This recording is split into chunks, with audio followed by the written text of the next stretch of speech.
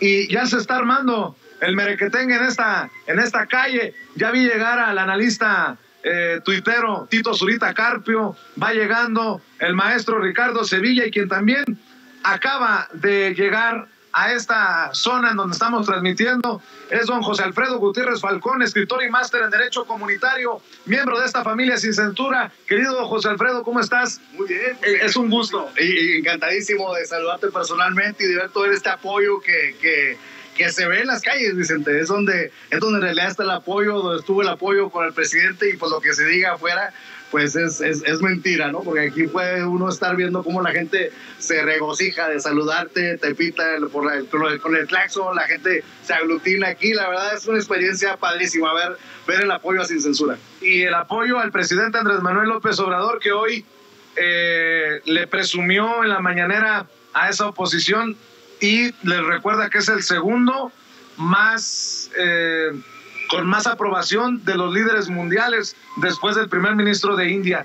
¿Cómo duelen estas encuestas? Encuestas que buscan desestimar esos que, pues, que no quieren darle ningún espacio de reconocimiento a Andrés Manuel López Obrador, pero que esos mismos pues retomaban encuestas para su conveniencia y lo seguirán haciendo. Que la gente no se confunda porque la mejor encuesta, la más importante, fue la de 250 mil personas en el Zócalo. Así es, ahí estuvimos y pues bueno, lo que estamos viendo es que hay un um, como reclutamiento de la, de, de la oposición, en donde como tú decías anteriormente hasta el ingeniero Cárdenas, pero ya tenemos una historia, eh, hay que recordar que que Carlos Monsiváis y Elena Poniatowska lo fueron a buscar en el 2006 para que apoyaran a Andrés Manuel y no quiso. Y después en el Zócalo, quienes venimos de, de, tiempo atrás con el apoyo de Andrés Manuel, aquí en una asamblea este, pública, pues le llegaron a gritar traidor al ingeniero Cuauhtémoc Cárdenas y yo estuve presente cuando, cuando corearon. ¿Por qué? Porque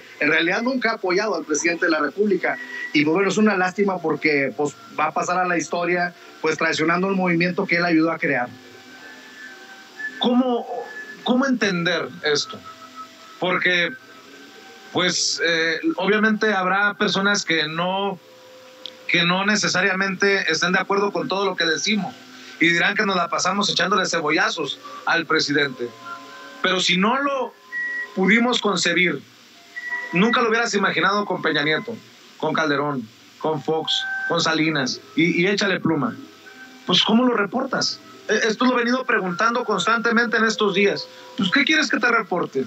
Que, le gritaron cosas que no le gritaron al presidente Andrés Manuel López Obrador, o decir que estas calles estaban vacías cuando estaban repletas de gente. ¿Cómo pasará la historia eh, un episodio como el de ayer? A mitad del sexenio no es poca cosa que salgan 250 mil personas eh, a, media semana en día laboral a respaldar al, líder del país y de todo el país. Eh, vimos gente, yo tenía a un lado gente de Veracruz, de Oaxaca, de Hidalgo, de Puebla, y todos con un júbilo. Yo creo que el común denominador de esta reunión masiva fue la alegría. La gente estaba alegre de escuchar a, los logros del mandatario, cosa que contra, se contrapone con lo que estamos viendo en los, en los medios chayoteros, de que, oye, pues ahora resulta que, está, que todo está mal y, y, y, la, la, la, la, la cosa más absurda es que los medios de Michoacán eh, este, diciendo que todo estaba bien en Michoacán hace, hace tres meses, ¿no? Entonces dice uno, ah, chinga, entonces, eh, este, ¿de qué se trata? O sea, nosotros somos los locos. Sí, exacto, exacto. Entonces, eh, lo que se vivió aquí, bueno, mira, Vicente, la derrama económica que hubo, todos los hoteles de, alrededor, yo tuve que irme a un hotel este, más allá de, de, de Paseo de la Revolución, porque todos los hoteles de aquí estaban llenos y había gente de todas partes y, fue una fiesta, fue una fiesta nacional lo que vivimos. Y, y, lo que dijo el presidente es irrefutable y el llamado que nos hace a seguir gobernando con él es muy importante porque está viendo que los partidos políticos, incluido Morena, pues no están dando el ancho, entonces se tiene que apoyar en el pueblo para, para que sacara adelante las reformas y por eso estamos aquí y vamos a seguir estando para, que, para, para seguir co-gobernando con el presidente. Me, me llama mucho la atención, José Alfredo, que en la oposición no lo hayan conocido ya, que no lo entiendan ya a tres años de gobierno. ¿Por qué? Por ejemplo, Andrés Manuel López Obrador juega como titiritero con, con ellos y, se enojan, patalean, en lugar de, de, de, de enfrentarlo. Y no hay inteligencia, no hay sabiduría en la oposición para hacerlo. Por ejemplo, solo como ejemplo, se encabrona Marco Cortés porque se toman fotografías en el evento Mauricio Vila, gobernador panista de Yucatán, Maru Campos, gobernadora panista de Chihuahua. ¿Qué hace el presidente hoy? Decir en la mañanera que ya instruyó a Dan Augusto, el, secretario de Gobernación, para que reciba a Santiago Krill, quien busca diálogo. Le trajo una cartita pidiendo diálogo, un líder de la oposición como Santiago Krill. Y en lugar de cerrarle la puerta, le abre la puerta exhibiendo a personajes como Marco Cortés, como Alito Moreno, como Jesús Zambrano. Es un gran titiritero en estos momentos Andrés Manuel López Obrador. Por supuesto, porque si algo, algo si, tiene una virtud Andrés Manuel López Obrador es de, de ser auténtico y entonces eh, cuando se está en contra de él y el pueblo está con él, entonces traen a la gente encima de manera automática. Imagínate que, que Alito y todos ellos pues traen el 78% en contra de, de, todos los que apoyamos a Andrés Manuel y a lo mejor eh, tuvo un momento de lucidez Santiago Krill y se está dando un poquito cuenta de esto y dice, ya no podemos, o sea, ya tenemos que negociar porque ya llegó el momento, estamos en, a mitad del, del, del, sexenio, que es cuando la popularidad bajaba radicalmente de los demás este, presidentes y Andrés Manuel está más fortalecido, con más influencia en el mundo, con él, hoy menciona eh, Andrés Manuel solo en la mañana a Biden y dice, el presidente Biden está haciendo esto, está haciendo lo otro. Entonces, como que ya está también cogobernando con, con, con, Norteamérica y con Sudamérica y con Centroamérica. Es decir, ya están, y ya se, está, ya se nota una integración continental en temas y entonces vemos un presidente. pero Cuauhtémoc Cárdenas dijo que no veía un, un, un, plan hacia Latinoamérica. No, pues es que es, que es, es, esto lo que, lo que creo que yo, y lo lo voy a decir con todas las palabras, o sea, el ingeniero Cárdenas le tiene una envidia bruta a Andrés Manuel porque Andrés Manuel está cristalizando lo que él se imaginó alguna vez que pudo haber, que pudo haber hecho él. Pero en lugar de sumarse y decirle, oye, qué bueno que tú este, estás haciendo lo que a mí me faltó, siendo hijo de Lázaro Cárdenas, eh, y, pero vemos que, que, no. Entonces. ¿Será que también le encabrona tanto ver eh, el éxito, el respaldo popular, la autoridad moral? De alguien que hace lo que él no pudo hacer y alguien que respeta profundamente a su padre, porque es un, un, un, un, referente, el padre del ingeniero para Andrés Manuel López Obrador. Y que su hijo es el coordinador de asesores de, de la presidencia. Entonces, sí, ahí, ahí, ahí tenemos un, un pues un, definitivamente un berrinche del ingeniero Cárdenas, que, que quienes que quienes lo apoyamos en el 88, porque pues bueno, yo, yo, era, yo era muy, muy chavo, pero lo apoyé, yo, era estudiante de la Facultad de Derecho. Este, y lo apoyé y vine aquí a apoyarlo y vine a sus mítines y etcétera, etcétera. bueno, mi mamá fue candidata del PRD en, en, en Moncloa, Coahuila. Le mando un saludo a mi mamá. En la época que, que, que, que Cárdenas fue, fue candidato a la presidencia de México. Entonces estuvimos con él, pero ingeniero, discúlpenos, pero así como, así como este, hemos visto mucha gente que se ha caído en, en, esta lucha, que se ha volteado, pues creo que el ingeniero ya se pasó al lado, al dark side, ¿no? Al, lado oscuro de la historia de, de México. A ver, eh, tú le prestas mucha atención y, y, qué bueno, de hecho te lo reconozco y, y, me emociona mucho que formes parte de la familia sin censura, a la gente de abajo, a, a nuestros pueblos originarios, a nuestros hermanos y hermanas indígenas y, estoy dándome cuenta, ahorita estoy reflexionando porque pasa, Serrano, y, si, y si no te quiero eh, eh, interrumpir, pues levanto la mano y saludo. Tú te has dado cuenta, ¿no? Que es la gente de a pie la que ve sin censura, la que aprecia sin censura. Hace un par de noches tuve que ir a un restaurante medio fifí porque tenía que encontrarme con alguien que, que, que era importante pues ya nadie te conoce, o al menos nadie te dice que te conoce.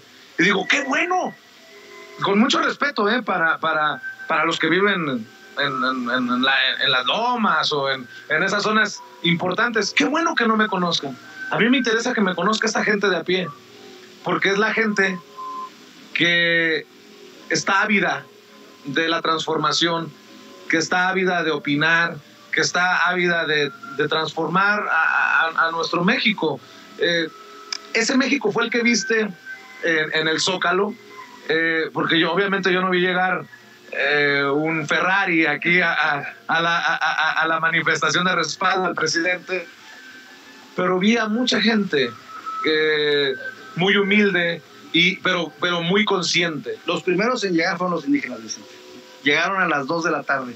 Llegaron los indígenas y llegaron los viejitos a apoyar a Andrés Manuel, cosa que desde que es jefe de gobierno, desde que fue jefe de gobierno del sitio federal, los primeros en llegar eran los viejitos siempre a apoyarlo. ¿Y por qué? Pues porque les está transformando la vida. ¿Cuánto, cuánto presupuesto se ha dedicado a, todos los pueblos indígenas? O sea, eh, eh, échale pluma con los caminos en Oaxaca. Así es, los caminos en Oaxaca, el plan de justicia en los pueblos yaquis, eh, es, es una, vamos, les está transformando la vida completamente y todavía eh, estuve yo en un hotel en donde llegaron los chamulas y escuché que dijeron, nosotros estamos con Andrés Manuel desde el gobierno legítimo.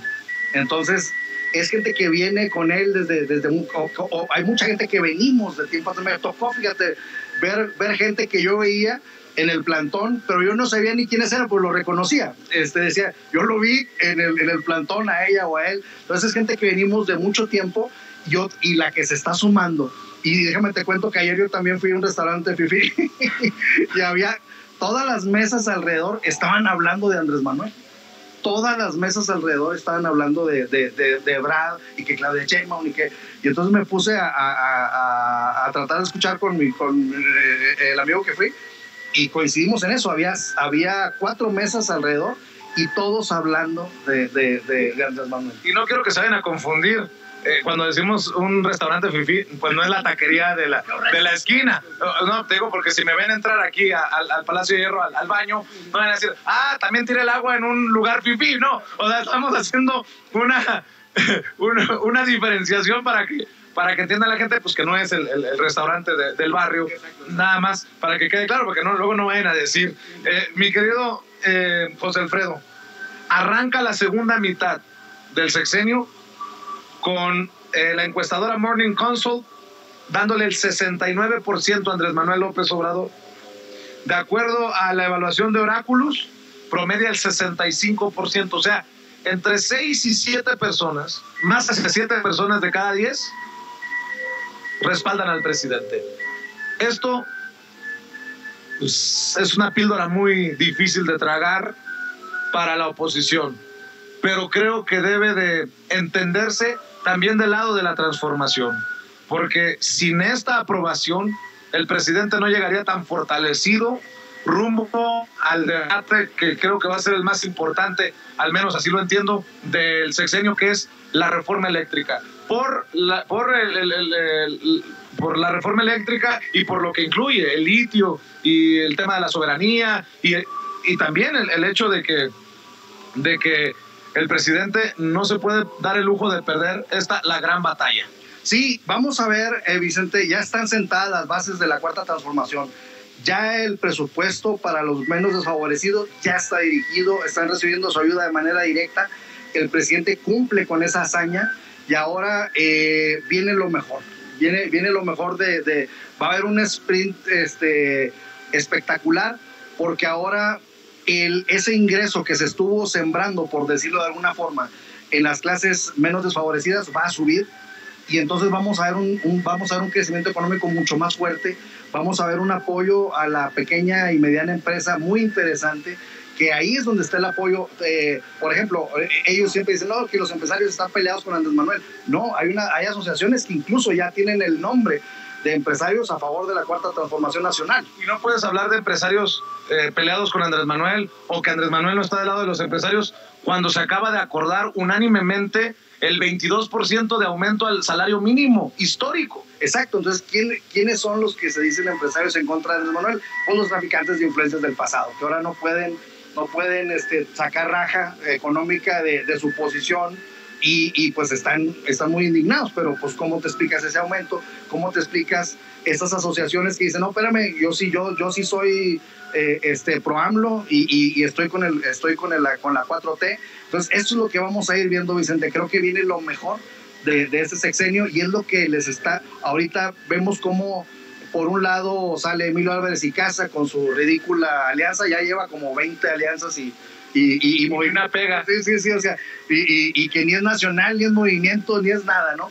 Entonces, y luego llegan otros intelectuales orgánicos ahí, este, pues aderezar un poquito y el broche de oro, pues la, la FIL, ¿no? Con, con, hasta con el ingeniero Cárdenas, eh, infiriendo Carmen Aristegui sus inferencias, la, el, el escándalo eh, o el supuesto escándalo de Lorde de Mola, que es otra inferencia. Entonces estamos viendo un, un mar de inferencias, ¿no? De que, que, ya no pueden con el presidente y entonces, pues bueno, están muy, muy, muy, deben estar muy alarmados con, lo, con la manifestación a la, que, a la que venimos y lo que nos, la que nos tiene aquí en la, en la Ciudad de México y yo creo que viene lo mejor. Ya, ya la 4T nadie la para, Vicente. Eso está cabrón. La 4T nada la para. Salvo que se cometan errores desde el mismo movimiento que pueden costar. Y no estoy hablando del presidente, estoy hablando de los hombres y mujeres cercanos al presidente. Ojo, que hay muchos que no están todavía al nivel, a la altura. Por, eso, por, eso, por eso el presidente nos convoca al pueblo y dice este, que no se sienta seguro nadie, porque yo traigo al pueblo conmigo. ¿no? Entonces, entonces, que sepa el presidente que aquí estamos y vamos a seguir estando, porque sabemos que dentro del mismo movimiento pues hay sus traidorcitos y hay sus este, eh, eh, sus chayoterillos por ahí. Eh, entonces hay que, hay que estar muy al pendiente y hay que ser más vigilantes todavía. Hay que tomar en cuenta que, que el partido de, del cual forma parte el presidente, aunque, aunque pidió licencia, pero es el único vehículo ahorita que tenemos los ciudadanos para llevar gente del pueblo. Entonces hay que cuidar que sí tenemos, que sí, que sí sea gente del pueblo y no cachirules y chapulines. Antes de presentar este video que vamos eh, a, exhibir nuevamente a, la oposición. ¿Dónde te encuentran? ¿En dónde te apoyan, José Alfredo? En, Twitter, arroba Gutiérrez Falcón, ahí están sus órdenes. Estoy en Facebook como J. Gutiérrez Falcón y próximamente en Gutiérrez Falcón Media en YouTube. Ahí, va, ahí, me pueden, ahí me pueden ver. Muy bien. Miran, señoras y señores, después de todo lo que han escuchado del análisis de alguien a quien respetamos, alguien que estuvo en el lugar de los hechos, porque es muy fácil hablar a la distancia. Alguien que, que llevaba el pulso del evento. Pues yo les pregunto, ¿le creen a José Alfredo o le, crean, le creen a Damián Cepeda, el senador del PAN? Porque desde el PAN hablan de que esto nada más falta que se abra el cielo y nos parta un rayo, o que se abra la tierra y nos lleve la chingada. ¿Eh? O que pase un perro. no, no, no, no, no, esa es la de malas. Bueno, pobre Damián Cepeda, al que, me, al que se me hace que ya lo meó un perro, es a él. Damián Cepeda, el senador del PAN, junto a Lord Longaniza y a todos los del PAN, a todos y todas las del PAN, hablando pestes, porque no les queda otra, porque están contra la pared o contra las cuerdas, como lo quieran ver, arrinconados están desesperados, están verdaderamente derrotados en este momento a medio sexenio del presidente Andrés Manuel López Obrador. Quisiera hacer un comentario sobre el tercer año de gobierno, el informe del presidente López Obrador. A ver, es evidente que el presidente López Obrador y Morena viven anclados en el pasado. O sea, uno escucha el mensaje de este acto para el ego del presidente y dices, caray, ¿para eso querías gobernar? O sea, para simplemente señalar que es que el periodo neoliberal, es que los conservadores, cuando uno compite una elección, conoce los problemas del país. Lo que los mexicanos quieren es que su gobierno lo resuelva, no que se la lleve quejando. Llevan tres años de gobierno, pues ¿cuántos años se van a quejar? O sea, en el acto de cierre de años, de seis años del sexenio, todavía le va a estar echando culpa hacia atrás. Voltemos a ver el presente. Del pasado se toma lo correcto, se quita lo incorrecto y se debe plantear una alternativa de cambio positivo para México.